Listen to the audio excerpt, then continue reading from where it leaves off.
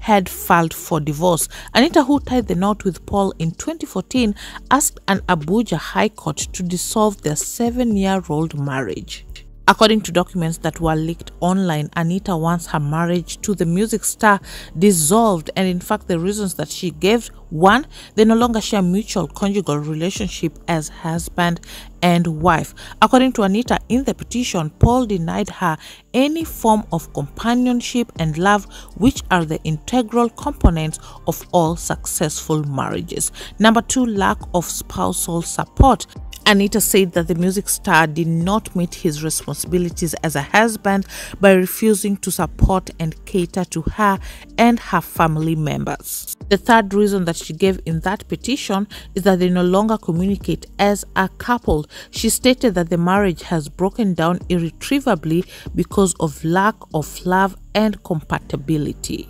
She also mentioned that their relationship went cold and all attempts to sever what was left was met with stiff resistance. She also said that the music star ceased all forms of communication with her.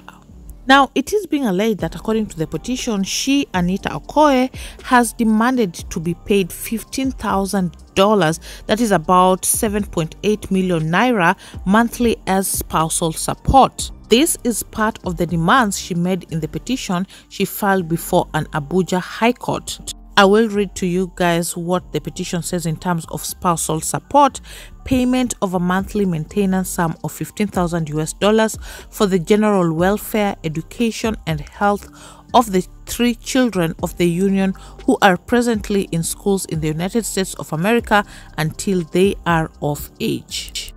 She had also advised her now estranged husband in the legal document to challenge the petition if he feels disgruntled. Anita first sparked divorce rumors in April when it was reported that she relocated with their three children to the United States of America.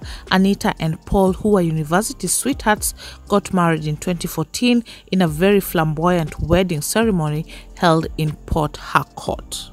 They welcomed their first son Andre the previous year. In 2017, they welcomed a set of twins, Nadia and Nathan. Well, guys, you are up to date. Don't forget subscribe. Please turn on your post notification and uh, follow IFAK Sub on Instagram.